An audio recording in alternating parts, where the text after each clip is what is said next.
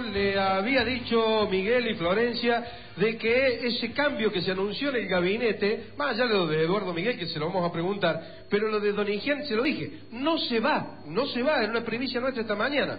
Y pero por la duda uno se queda con eso, ¿a quién le vamos a preguntar? A la máxima autoridad de la Municipalidad de Córdoba, Miguel y Florencia, el Intendente Jacomino los está escuchando y viendo también. Muy bien. Buen día, Intendente, ¿cómo le va? Hola, buen día, ¿cómo están? Bien, muy bien. que ya tienen el pie ahí, donde dice CB Córdoba 24N y demás, muy lindo, muy lindo está. Gracias, gracias. eh, Nos acompañó ayer en el lanzamiento del canal, así que bueno, estamos muy contentos. Este es nuestro segundo día aquí con 24 en directo. La idea es transmitir la información de lo que pasa en la ciudad, así que le agradecemos la presencia aquí en el móvil junto a Ariel Mancilla. Intendente, ¿no hay cambios entonces en desarrollo social? No, no, no sé dónde sale esa noticia, la verdad es que no, no yo me, me sorprendí esta mañana con el diario, en un momento Ariel me llama, me pregunta, y digo, mira, la verdad que no, no tengo pensado ningún cambio en esa secretaría, se viene trabajando bien, se viene, venimos trabajando, usted sabe que, que mi esposa también trabaja muy cercano a ese tema, desarrollo social, eh, es un equipo de gente de, de mucha confianza, así que bueno, yo, yo la verdad que no, no, no sé de dónde sale semejante rumor, así que lo quiero desmentir. Daniel Giacomino, ¿qué va a pasar con los inspectores municipales? Es el cuarto día allí con su Sí. protesta y el centro se está convirtiendo en un caos. Complicado, complicado. Hoy a las diez y media hay de nuevo una reunión, ya vienen autoridades también del, del gremio, no solamente los delegados, sino eh, me prometió que va a venir eh, el secretario adjunto, Delín Fernández también, a hablar con la secretaria de Transporte y con el, con el secretario de Economía. Esperemos que lo podamos trabajar hoy, vamos a ver. Ya hay, hay muchas cosas que se han solucionado, hay expedientes que se han sacado, hay otras cosas que, que se... Que se hay vehículos que se, se piden comprar y demás. Bueno, se han comprado vehículos para otras áreas, para esta área también se habían comprado hacen falta más, los vamos a comprar, tenemos posibilidad de comprarlos, así que le hemos prometido que lo podemos hacer, así que bueno, vamos a estar haciendo lo, lo- lo posible para poder trabajarlo el día de hoy. Bueno, sería en el día, oh, Intendente, ¿cómo le va? Buen día, Florencia, le habla. Florencia, ¿cómo está? Buen día. Muy bien. Sería en el día de hoy, finalmente, porque llevábamos ya cuatro días, ¿no? Sin inspectores.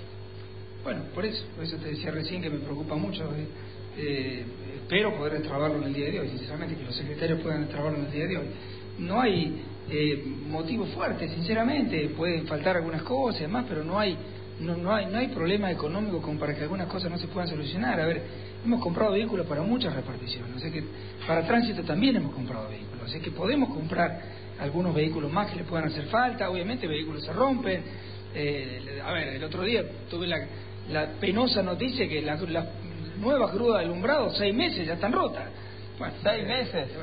entonces también eh, por ahí hay que ver un poco, bueno, no sé, son malas las grúas o los muchachos por ahí. Entonces, bueno, eh, también ya tuvimos que mandarla a arreglar. Entonces, bueno, son son son problemas cotidianos que tienen. Por ahí a veces se exacerban un poco, quieren que los funcionarios bajen, que hablen con ellos. Bueno, hace falta hablar y bueno, yo espero que hoy se pueda solucionar.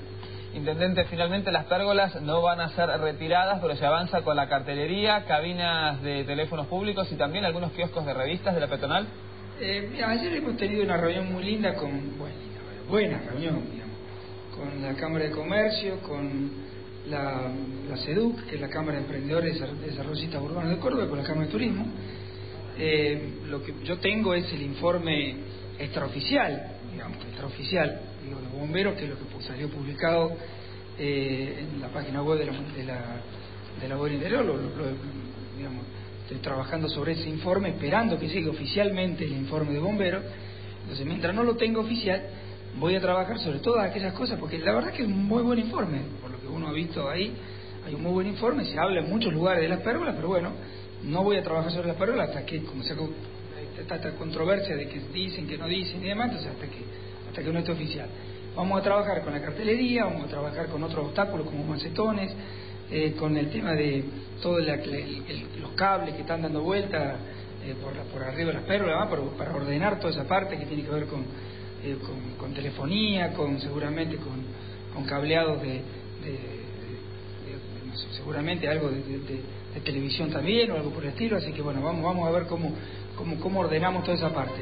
Hay parte de, de lo que son cabinas telefónicas también, bueno, todo, todo lo que sea, toda la parte de seguridad de subsuelos, sótanos y demás que ellos advierten en el informe. Eh, por ahí avanzamos sobre el tema de algunos canteros en zonas donde no hay pérgolas, eh, para eliminar esos canteros y hacer cazuelas diferentes para árboles, eh, para que pueda pasar más fácil una autobomba donde no hay pérgola, insisto, para no tocar el tema más polémico. Así que podemos, podemos avanzar. El informe es muy extenso, habla varias veces de las pérgolas, pero no, no solamente de pérgolas. Así que podemos avanzar en muchas cosas sin tocar el tema más vertical.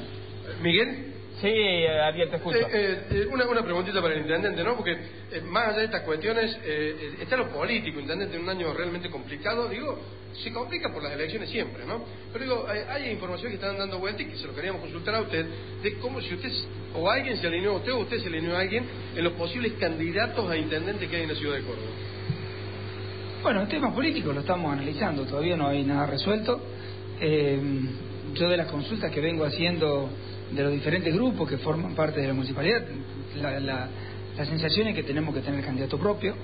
Eh, hay cuatro o cinco nombres que están ahí ya tirados, gente que ha, manifestado intenciones y demás, así que bueno, son, son personas que son secretarios, algunos secretarios, otros personas de, bueno, de, de, nuestro entorno, de, nuestro equipo, que posiblemente de alguno de ellos, el, el presidente del bloque de concejales, Gustavo Renuevo, eh, el secretario de Economía, Bermúdez, el secretario, eh, perdón, el presidente de la Crece, Fernando Cámara, eh, un amigo, Horacio Bequeira, que es el presidente del Frente Grande, que también ha compartido con nosotros.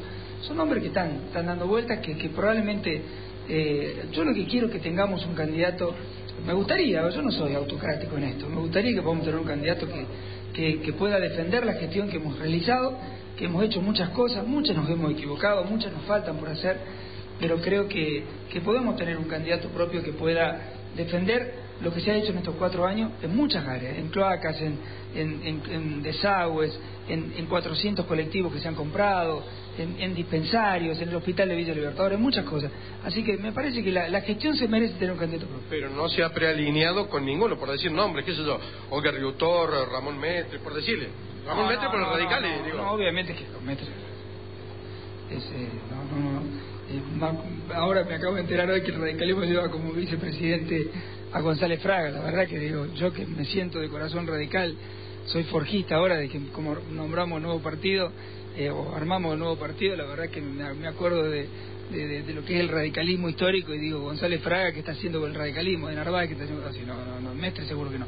Pero no, no, lo más probable es que nosotros tengamos nuestro propio candidato, porque insisto, me, me, me gustaría que durante la campaña, porque son los momentos más, más calientes como para poder mostrar eh, y, más propicios para mostrar lo que hemos hecho, porque muchas veces hemos vendido mala gestión. Hay muchas cosas que se han hecho y mucho de esto de la buena relación entre la provincia y la nación que ha permitido muchas obras que hubieran sido impensadas en un ambiente conflictivo y de pelea permanente como teníamos anteriormente. Miguel, Flor. Lo despedimos al intendente, agradecemos este contacto con 24 en directo y esperamos para la próxima semana volver a dialogar con él. Siempre hay temas de la ciudad y le agradecemos realmente la atención en este día viernes, nuestro segundo día al aire. Gracias, gracias. Ariel y gracias Daniel. Eh, la última, al final del cabo, no, Tonigén no se va. No, no, lo no se va. y lo de Eduardo Miguel, asume... Eh... Eduardo Miguel le firmó el decreto, es un funcionario que estaba trabajando con nosotros en la Dirección General de, de Asuntos Vecinales y bueno, es un compañero que me viene acompañando a mí de la gestión anterior, así que muy amigo, muy leal en la gestión y además va a ser secretario de, de Asuntos Institucionales en lugar de Marcelo Cáceres. Eh, de vuelta, mucha suerte chicos. Muchísimas y, gracias. Y Miguel, arriba con la verde. Vamos con los Sportivo el domingo, que hay que, que, hay que ganar allá en Sunchales. ¿Cuánto? Tenemos, tenemos chance todavía, gracias. Eh, Ariel, un abrazo y saludos al intendente. Dale, cómo no, aquí está.